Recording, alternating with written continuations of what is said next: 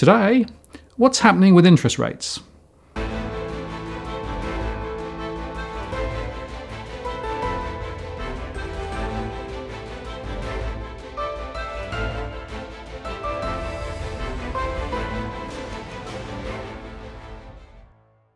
Hello again, it's Martin North from Digital Finance Analytics. Welcome to the latest post covering finance and property news with a distinctively Australian flavour.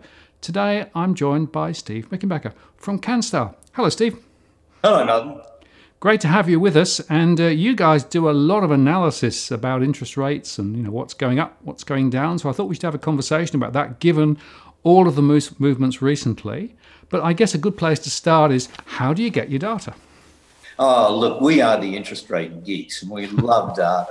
And, and what we, we, we get most of it directly from the providers. So, you know, we've got, you know, we have 90% of almost every finance market around. We, we get as much of the market as we possibly can.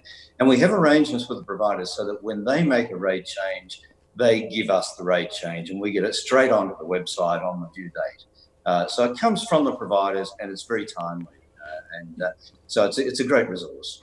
Yeah, absolutely. And one question I have there there is sometimes a difference between the advertised rate, you know, the, the rate that's there on the website, and actually the final rate that people could negotiate to. I'm assuming you've got the, um, you know, the official rates rather than the negotiated rates. Yeah, we do, Martin, because what, what we, we start with the premise that if uh, an organisation should be advertising a good competitive rate, uh, if you've got to sort of twist arms and uh, jump up and down and prove up to be a, an expert negotiator to get a good rate.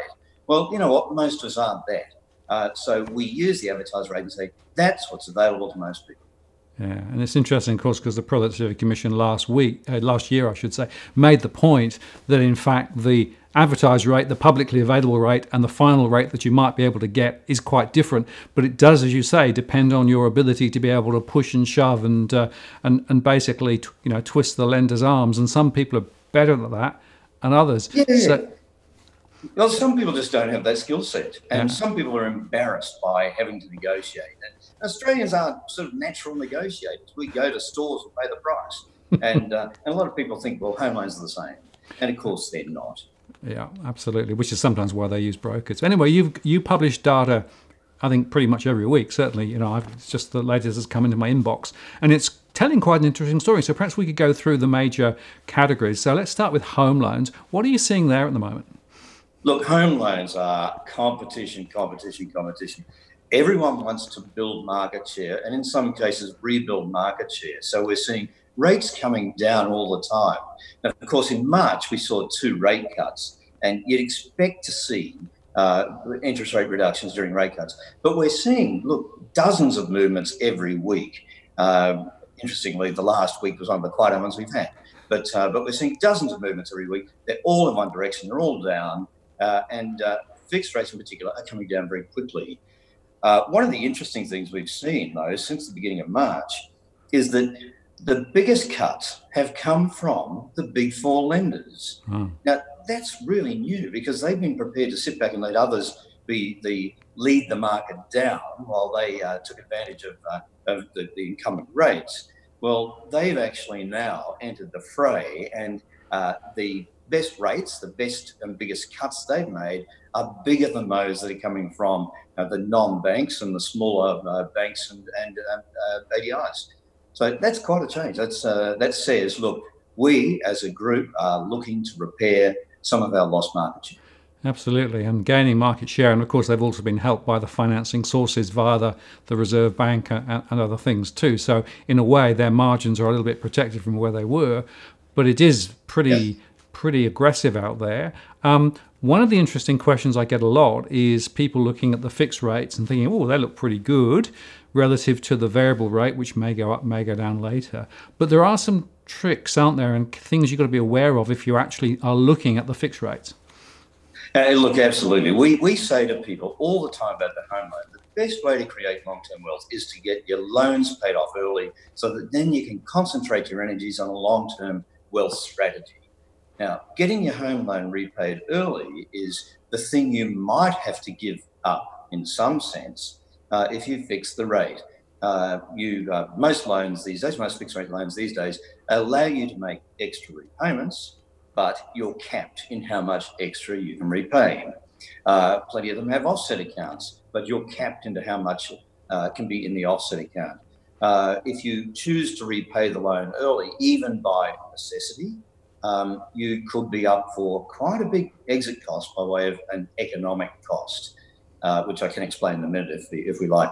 Um, uh, so you're giving up a degree of flexibility. Now, it's not as bad as it was you know, 15 years ago, but you're still giving up a degree of flexibility. You might not be able to get the repaid loan repaid earlier, and, uh, and that holds you back financially.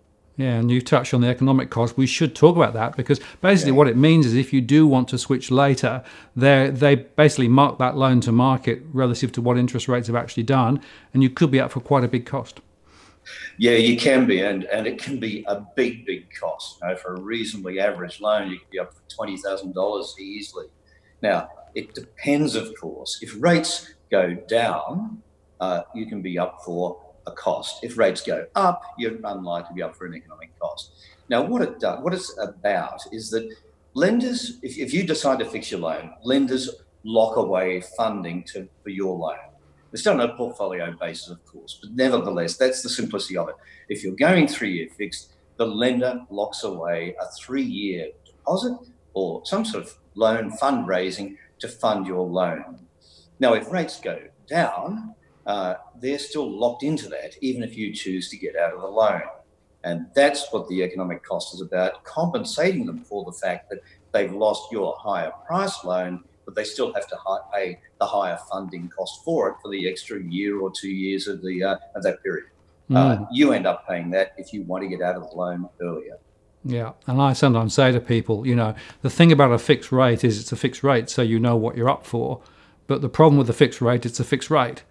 and if rates move against you, you could lose well, out. So, so it's about you know insurance on one hand in terms of um, rates moving against you versus the economic cost if it moves the other way. It is tricky.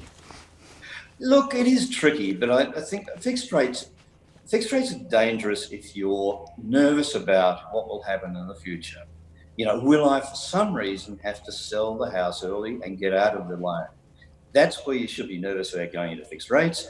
Uh, now is a time of considerable uncertainty. So plenty of people might say, look, now is not the right time for me. Uh, but the, the general thing with fixed rates is, look, don't make out that you're the greatest interest rate investor and speculator of all time. If we were all that, we'd be multi-billionaires and wouldn't have to worry about this. Fixed rates are all about saying, today I know I can afford to make a repayment of $2,000 every month. Uh, if I can lock that in for the next three years, I'll feel a lot more comfortable about my financial future. Uh, now, if, if that's if you use that attitude about fixed rates, you stop worrying about will the market keep going down? Uh, have I picked the bottom? Will I be uh, have rate envy in, in 12 months' time because someone's doing better? Forget all that. It's about locking in a rate uh, so that you're locking your repayment. Yep, no, that's good advice, I think, Steve. Now let's switch to credit cards because um, you could be forgiven for thinking that interest rates have not moved at all if you look at the cash rate because credit card rates are still where they were. We have seen um, an avalanche of, of, rate changes in home loans over, recent times, uh, and even since the RBA's cash rate moved, uh, and even before that. Um, uh, credit cards have not followed that path. In the last month, we've seen one rate reduction. Uh, so credit cards have not done that. They haven't done that for years. Uh, credit cards haven't moved much at all since uh, the pre-GFC interest rate levels up uh, where home loans were up around 8%. Uh, so home loans might have come down 6 7%. credit cards really haven't much at all. There have been a new, a few new uh, low rate offerings coming on the market, but the interest rates have not moved much at all. Yeah, and that tells you something about uh, where the banks may be squirreling away a little profit, right? In other words, trading off the higher margin on the credit cards vis-a-vis the very low margins on the mortgages to try and actually get get new business. Look, that's absolutely right. And, and the problem with it is that people uh, look at home loans and realise, well, look, it's $400,000 I'm, I'm borrowing here. I need to get a good rate. Whereas credit cards, they're not quite as sensitive. They see it as part of everyday life. Uh, they get used to paying too much and they don't look to negotiate that. They're not looking for the right deal.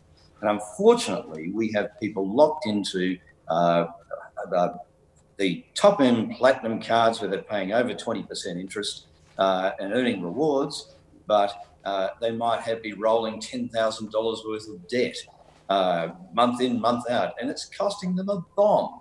Uh, so get into the right card if you must have a debt on your credit card. yes, I have to say that I always try and avoid having anything on my mm. credit card because it's way too expensive. If you pay off every month, then effectively you win and the bank doesn't. Even the low rate cards are high mm. debt. Uh, and they're also bad debt in the sense that uh, they're not adding to your long term financial well being. Uh, so, you know, if you've got credit card debt, work out a way to get it down and pay it off. Balance transfers can help provide, provide you have lots of discipline about your spending. But get out of credit card debt. Yeah, that's good advice there too. Now let's talk about deposits next, because of course there are three million or there households in Australia who rely on deposit income, and unfortunately they're being taken to the cleaners, aren't they? Look, they have been the long-suffering group for ages, for, for years now. We, we've been having um, interest rate cuts now for almost two years, Reserve Bank cuts. But the savings rates were coming down for about a year before that even happened. There's been just this long term gradual decline.